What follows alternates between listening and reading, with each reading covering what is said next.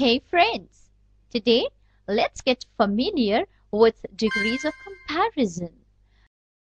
Hey friends! In this unit we are going to learn how to change comparative degree to positive degree.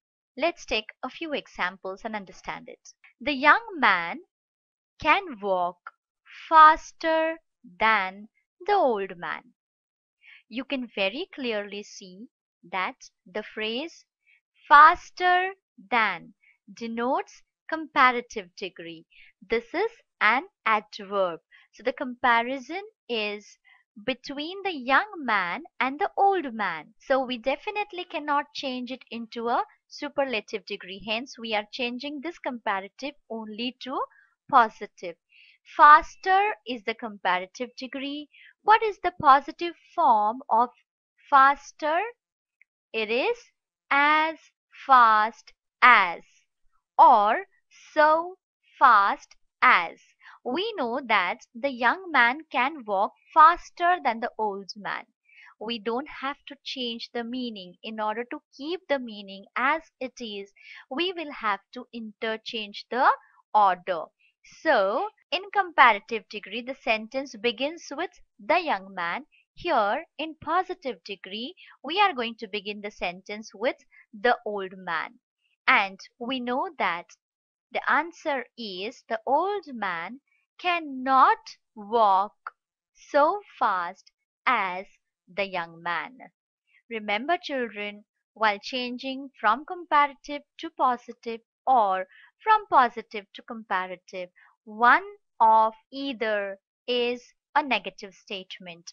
Here we have a positive comparative degree, hence we have a negative positive degree. So the answer is the old man cannot walk so fast as the young man. Let's take another example.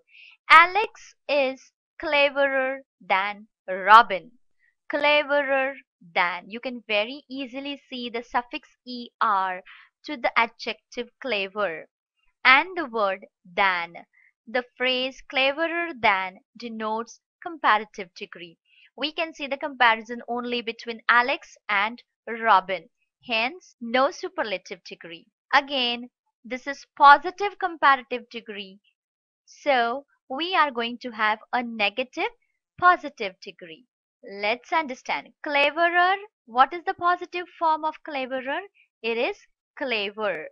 So, in our positive sentence, we will have either so clever as or as clever as. Your answer is Robin is not as clever as Alex. It means that Alex is definitely cleverer than Robin. Look, we have not changed the meaning, but we have changed the degree of comparison. Let's take one more example. My house is not more comfortable than yours. Here the comparison is in between two houses, mine and yours. We already have used a negative comparative degree. So our positive degree is not going to contain any negative word in that. Positive degree begins with your house. Your house is as comfortable as mine. As comfortable as denotes the positive degree of comparison and we have not changed the meaning. Here we go with another example. A wise enemy is better than a foolish friend.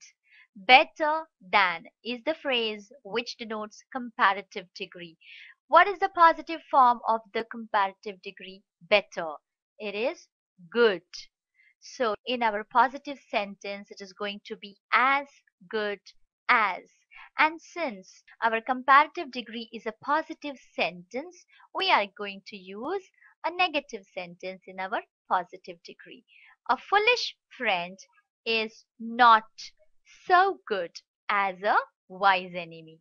So, so good as is the phrase which denotes positive degree of comparison. This is how we changed a comparative degree into positive.